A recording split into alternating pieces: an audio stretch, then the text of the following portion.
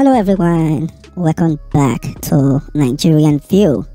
So guys, a lot has been going on concerning the confraternity war between Black Axe and Supreme Eiye Confraternity in the city of Lagos and five people have been brought down since last week up till this morning.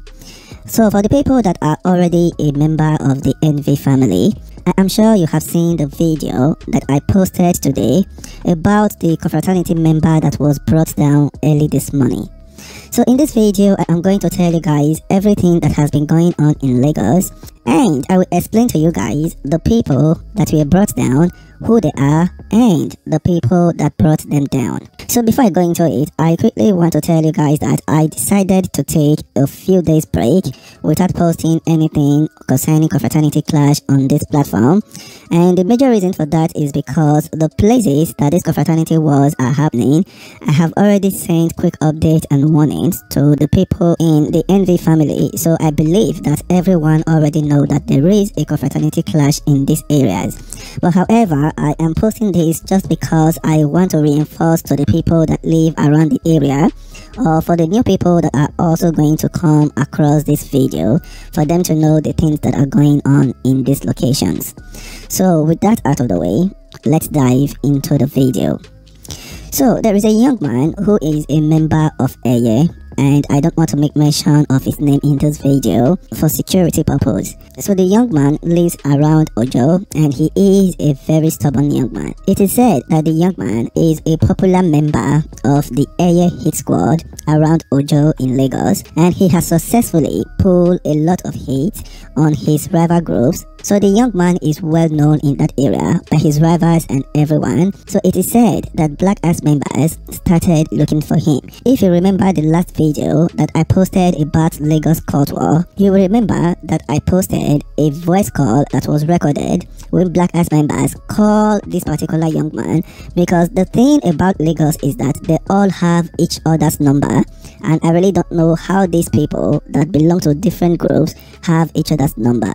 So they called this young man and they told the young man that they were coming for him. So because of everything that was going on, the young man left Ojo and the Black Axe members later got an update that the young man was in Orile and they decided to go for him. And this happened on Thursday last week. So when they got to Orile to look for him, they did not meet him. That is when they met this young man that you are currently seeing on your screen. Now this young man is by the name of Shepe. He is a popular member of Eiye and he was brought down Thursday last week by some young men that are said to be Black Axe members.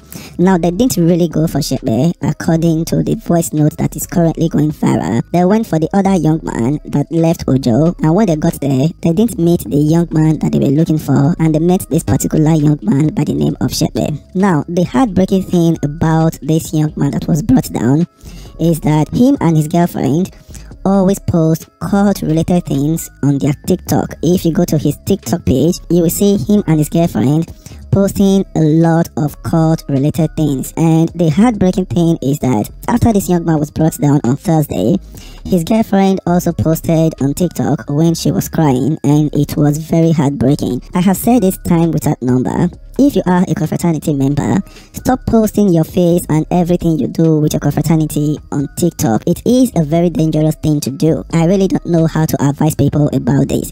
Leave social media. Don't post your real face on social media you are a co fraternity member, the truth is that this thing that you guys are practicing is a gang. And you don't just put your face out there and make yourself a target. It is too dangerous. I really don't know how to advise people about this. Leave Facebook, leave TikTok, and also in your WhatsApp status. Don't be posting your face and your confraternity things because you don't know who might just see it. It is very important for you to hide your head as a confraternity member. So after this happened, on Friday, a young man by the name of Kosoro was was brought down in Ibeju-Lekki.